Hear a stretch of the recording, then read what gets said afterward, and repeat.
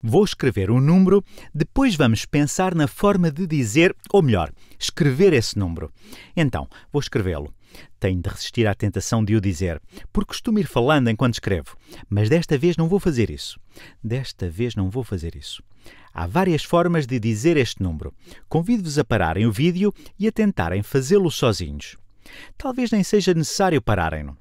A primeira coisa que dá logo nas vistas é o facto de termos 20 mil e depois mais qualquer coisa. Então, talvez devamos escrever isto. Temos, temos 20 mil, 20.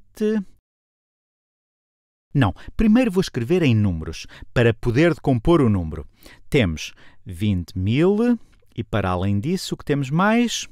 Temos 5 décimas, esta é a casa das décimas, então podemos escrever isto assim: 5 décimas.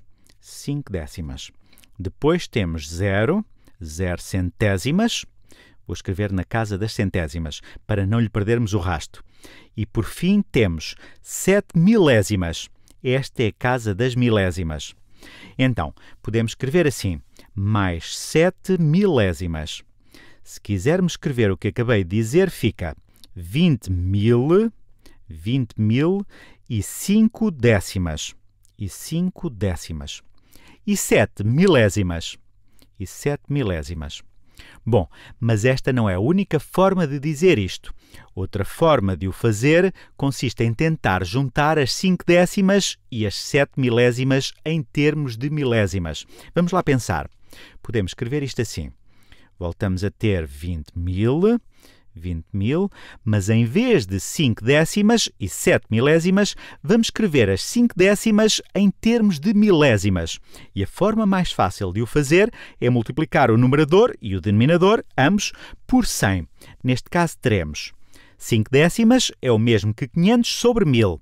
E as 7 décimas, ah, desculpem, as 7 milésimas, continuam a ser 7 milésimas. Estes dois números combinados ficam 507 sobre 1000. 507 sobre 1000. Então, podemos dizer este número assim: 20.507 milésimas. Vamos escrever isso. Podemos dizer que se trata de 20 mil, 20 mil e, e 507, 507 milésimas. Milésimas. Milésimas.